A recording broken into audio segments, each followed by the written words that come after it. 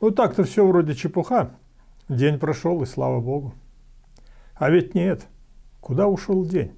Что он понес туда, в неведомое небо, где пишется памятная книга, где готовится отчет о всем пережитом?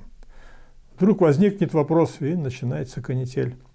Сам себе отчет пытаешься дать, мухлюешь, немного приврешь, немного скроешь от суда праведного, простишь ошибки, проступки, мол, кто же не ошибается, и, махнув рукой на себя и жизнь свою, натянув на себя благородную маску, начинаешь воспитательный процесс.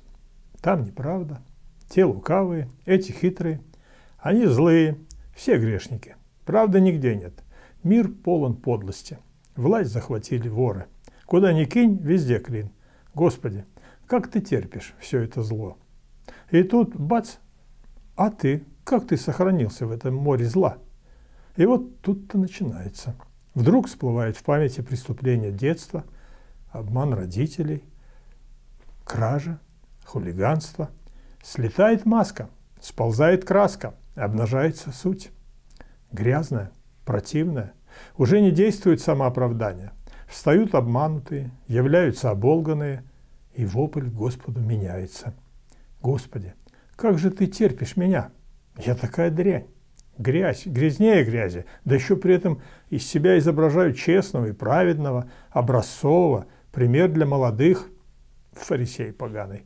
Иаков, апостол святой, вдруг возникает. Мужик прямой, суровый, честный и потому уважаемый. Вроде как с любовью говорит без осуждения, но ведь как штык в сердце втыкает. Все мы много согрешаем. Кто не согрешает в слове, тот человек совершенный, могущий обуздать и все тело. Ты понимаешь? Все мы много согрешаем. Он и себя включает в это «мы», и уже не выскочить из этих тисков слова правды. Посему, хотя бы ты умылся мылом и много употребил на себя щелок, нечестие твое отмечено предо мною, говорит Господь Бог. Ужас! Он все знает. Он знает все. Не смыть и не спрятать. Господи, прости, что судил всех. Прости всю неправду мою. Прости. Виноват я. Сердце чистое, сотвори во мне, Боже, и дух правый обнови внутри меня.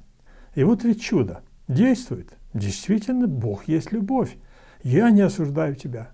Иди и впредь не греши. Опа, вот это да! Свобода наступила, и радость пришла, просто благодать. Спасибо тебе, Господь.